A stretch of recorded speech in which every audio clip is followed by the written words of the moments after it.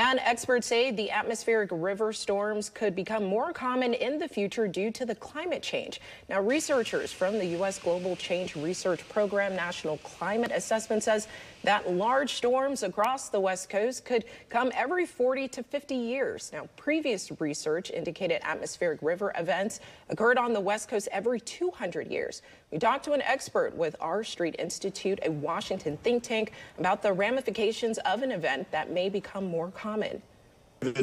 Aligning ourselves with, with like-minded organizations, whether they're other think tanks or environmental groups, for common sense legislation and uh, you know, preventing unwise building.